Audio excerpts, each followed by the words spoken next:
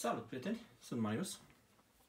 În acest film vreau să vă prezint pe scurt un uh, router wireless pe care l-am uh, achiziționat de pe uh, Amazon și care a costat undeva la uh, 20 de euro. Motivul pentru care am luat acest router este că pentru oarecare motiv uh, routerul uh, prin care primesc uh, internet în casă, deși e la circa 4 metri de, 3 metri de, de camera mea, nu reușesc sau nu reușește să-mi ofere un semnal uh, suficient de puternic și în acest moment folosesc uh, MacBook Pro pe post de hotspot Wi-Fi.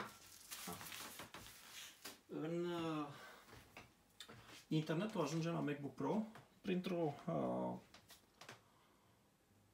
printr-un produs pe care vi l-am prezentat acum ceva timp, și anume uh, TP-Link uh, TP1200, dacă nu mă înșel, uh, care practic transmite internetul prin sau cu ajutorul uh, rețelei electrice din casă. Da? Și practic în uh, Mac-ul meu, care încerc să vi arăt acum, intră un cablu de rețea cu ajutorul unui adaptor, pentru că Mac-ul din 2015 nu mai are uh, nu mai are port Ethernet și uh, practic uh, fac hotspot cu el. Însă, uh, nu știu dacă e normal să țin Mac-ul funcționând atâtea ore uh, sau zi lumină pentru a face, pentru a face hotspot, așa că am cumpărat acest router TP-Link TLWR 940N. Uh, spune că are viteze de până la 450 de megabits pe secundă și uh, are protocolul uh, N. Uh, există protocole A și B, care sunt protocoale mai vechi, și G și N, care sunt protocoale mai, uh, mai noi. În momentul de față A și B nici nu se mai folosesc.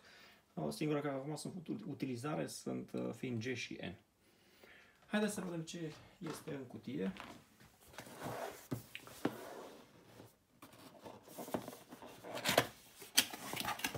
Și uh, cum putem să-l setăm. Ok, unboxing-ul este relativ uh, ușor sau uh, nu a fost foarte complicat. Cutia nu a opus rezistență. Avem Quick Installation Guide, Multimode Router, uh, tot așa un Quick Installation Guide cu care practic mi se arată pe uh, în pași, ca să zic așa, uh, și avem de făcut 1. Connect a computer to the router 2. Launch a web browser practic pas cu, uh, pas cu pas.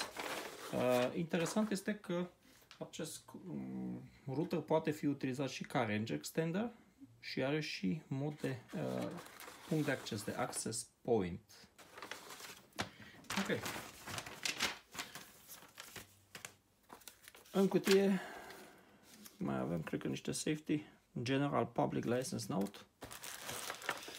Avem un alimentator care este comun la toate aceste uh, la toate aceste rutere și anume 9 volți 0,5 amperi.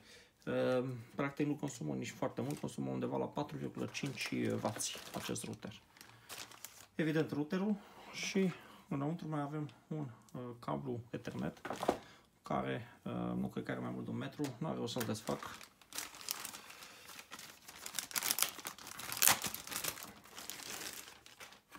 Routerul în sine are trei antene, pare o chestie uh, foarte serioasă. Uh, ok. Și uh, este foarte, foarte ușor. Evident, din punct de vedere al conținutului, a componentelor electronice nu, uh, nu este foarte, foarte plin. Ce observ este că nu are posibilitatea să îl agăți pe uh, perete. Da? Uh, el trebuie să stea undeva pe o suprafață. Pe partea din spate avem uh, punctul de acces, de intrare, unde intră practic internetul în, uh, în el și uh, avem mufa de alimentare, butonul de pornit oprit, butonul de reset, uh, butonul de uh, WPS, de Wireless Protected Setup și patru porturi uh, Ethernet. Evident, aceste porturi Ethernet sunt uh, de 100 de megabits pe uh, secundă. Haideți să vedem cum îl, uh, cum îl putem configura pentru a ne folosi de, uh, de internet wireless uh, prin intermediul lui. Am uh, băgat în priză alimentatorul sau adaptorul de curent. Uh, pe partea din spate apăs butonul de pornit și în acest moment observ că unul dintre LED-urile uh, unul dintre LED-urile lui uh, luminează, luminează portocaliu. Și haideți să fur, între ghilimele, internetul sau cablul de internet de la uh, Mac să-l conectez în, în portul de intrare, ca să zic așa, al uh, internetului și să ne logăm să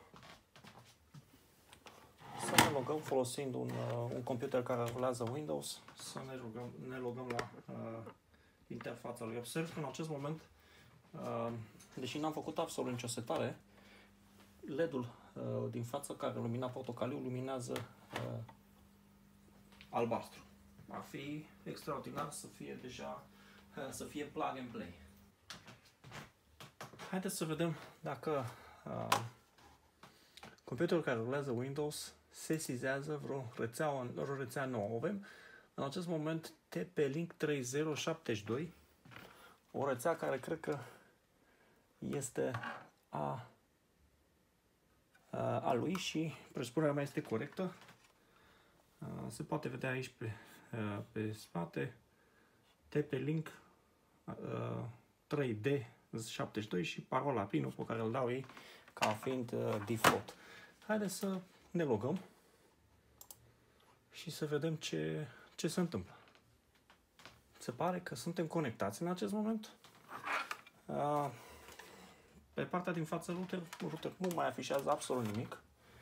Și haideți să vedem un uh, speed test. Să vedem dacă într-adevăr avem, uh, avem internet. speedtest.net I consent. Eu am o legătură de 100 de megabits pe secundă. Pingul arată foarte bine. Oh my god! este mind-blowing. Da, deci până acum uh, internetul efectiv sughița în cameră. Da? Și observ că mă apropii de viteza maximă de, de transfer pe care mi oferă conexiunea pe care o am. Și anume de uh, 100 de uh, megabits și am 40 de megabits la upload. Uh, din 40 de megabits la upload, văd că are, văd că folosește, nu știu, că reușește să atingă 24, ceea ce este mai mult decât ok. Ok, prieteni. Aceasta a fost. Dacă aveți întrebări, le aștept în uh, secțiunea de comentarii. Dacă nu, uh, vă mulțumesc că v-ați uitat și ne vedem în filmulețul următor. Ciao!